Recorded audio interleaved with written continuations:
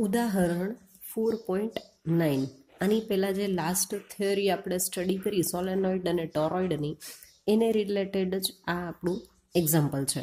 આ ઉદાહરણમાં આપણને થોડી માહિતી આપેલી છે એ કલેક્ટ કરીએ.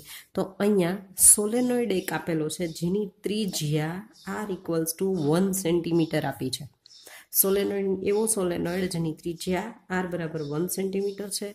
સોલેનોઇડની કુલ લંબાઈ એટલે આખો જ સોલેનોઇડ પોઈન્ટ પાંચ મીટરનો છે. સોલેનોઇડમાં કુલ આટા કેપિટલ એન કુલ આટા. સ્મોલ એન એટલે એકમ લંબાઈ દીઠ આટા. અહીંયા કેપિટલ એન એટલે કુલ આટા. જે ફાઈવ હંડ્રેડ છે. અને તેમાંથી વહેતો વિદ્યુત પ્રવાહ આઈ પાંચ એમ્પિયર છે. તો સોલેનોઇડની અંદર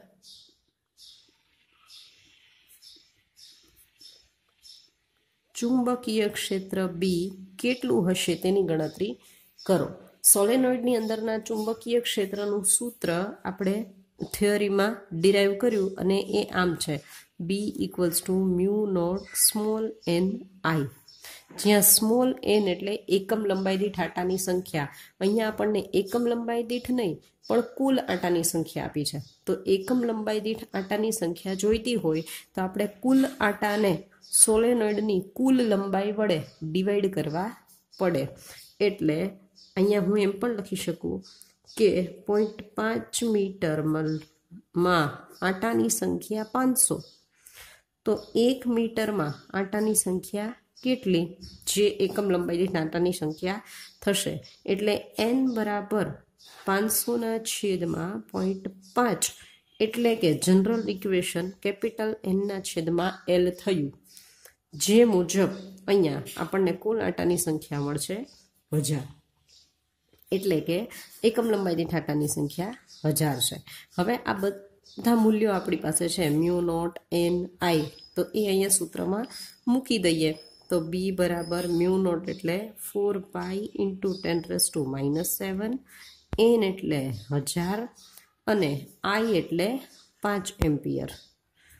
તો આ બધા જના મૂલ્યો મૂક્યા પછી જો ગણતરી કરીએ તો આપણને મળે six point twenty eight into ten raise to minus three tesla બરાબર? તો અહીંયા મળી ગયું આપણને સોલેનોઇડની અંદર ચુંબકીય ક્ષેત્ર.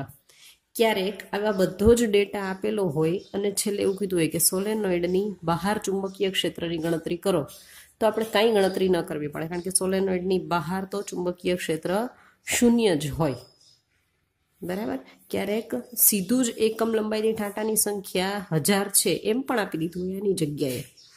તો ક્યાં કયા શબ્દ પ્રયોગ કર્યા છે એ ધ્યાનમાં રાખીને દાખલો ગણવાનો.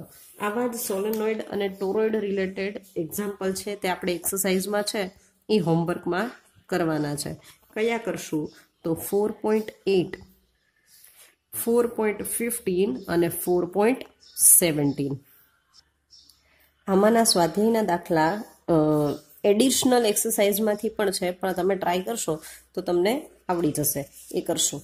હવે, આપણું ચેપ્ટર ફોર ત્રણ ભાગમાં ડિવાઈડ થયેલું છે, જેમાં એક પોર્શનમાં આપણે ફક્ત ચુંબકીય ક્ષેત્રની વાત કરી. ઉત્પન્ન થતા ચુંબકીય ક્ષેત્રની.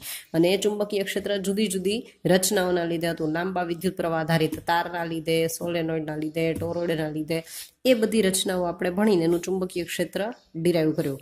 એના પછી હવે નેક્સ્ટ પોર્શન આ એક્ઝામ્પલ પછી શરૂ થાય તે છે બળનો.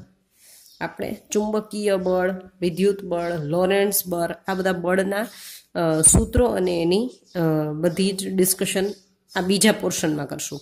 અને ત્રીજો પોર્શન છે ટોર્કનો એટલે અહીંયા આપણો ફર્સ્ટ પોર્શન પૂરો થાય છે. એટલે આપણી ચેપ્ટરની સિરીઝ ટેસ્ટમાંની ફર્સ્ટ ટેસ્ટ હવે આપણે આપશું.